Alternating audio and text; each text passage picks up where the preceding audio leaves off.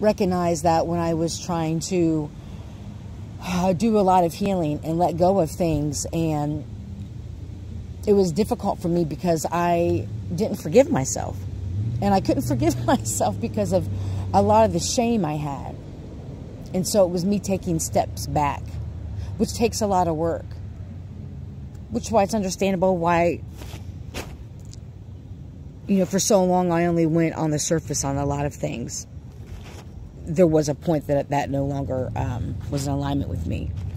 But what ha what happens is, I don't say but, and what happens is, is that when we live a life of anger, resentment, not forgiving, blaming other people, focusing on everything outside of us, um, and not focusing on us, because that's the only thing we can change. So why are we worried about? Thank you, motorcycle. Yeah, Carly.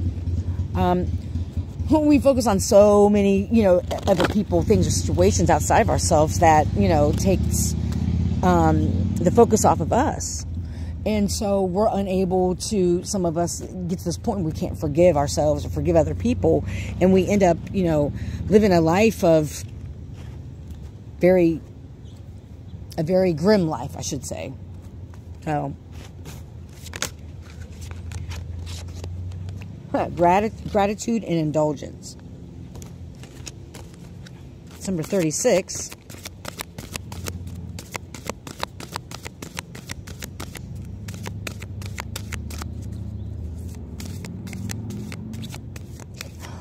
this sounds crazy. I just heard Spirit say somebody's given, somebody's like, uh, uh, like, you know, cheering, like with uh, like drink glasses, you know, giving gratitude or thanks or whatever.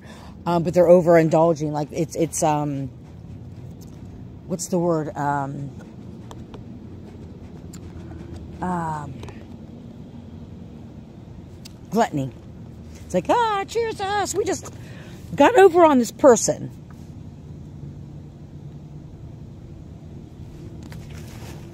That's a weird message. Somebody's saluting um, their perceived victory over a person or situation. This may not be you. This may just be people in your energy or people you're dealing with or a past situation.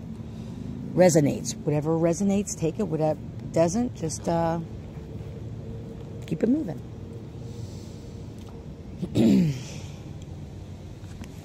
Yeah, I, I see somebody, uh, like a group of, I don't know if it's your family or maybe it's people at work,